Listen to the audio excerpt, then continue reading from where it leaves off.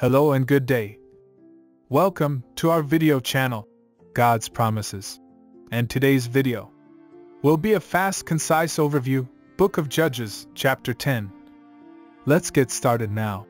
Judges chapter 10 begins by introducing two new judges, Tola and Jair, who ruled over Israel for 23 and 22 years, respectively.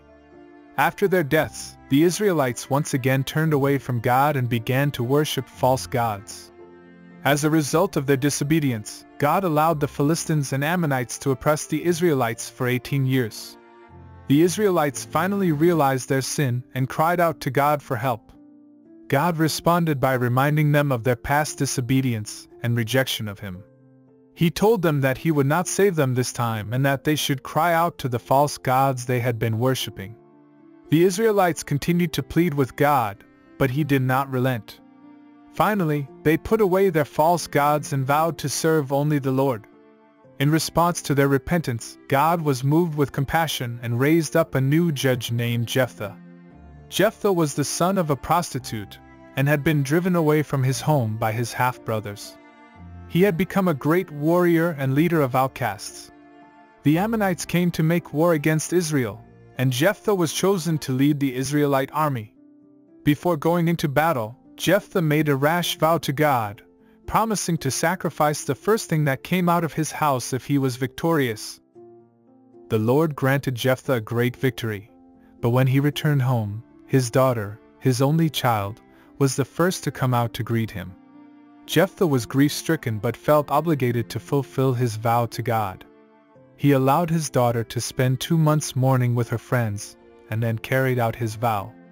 The story of Jephthah is a tragic one, and it serves as a cautionary tale about the danger of making rash vows to God.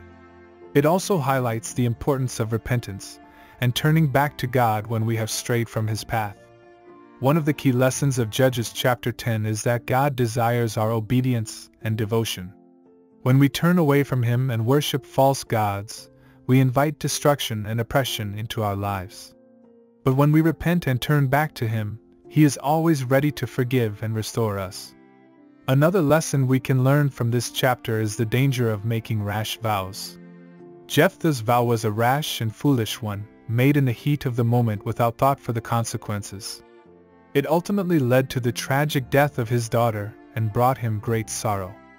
As believers, we should be careful not to make vows to God lightly and we should always consider the possible consequences before making any promises to him. In conclusion, Judges chapter 10 reminds us of the importance of obedience and devotion to God. It warns us of the danger of worshipping false gods and making rash vows, and it encourages us to turn back to God when we have strayed from His path. May we always seek to follow Him with our whole hearts and trust in His mercy and grace. Thank you for visiting us today. Please share with us your favorite Bible chapter below in the comments section. Don't forget to like and subscribe. It really does help our channel grow. Looking forward to see you back here for our next video. Always take good care.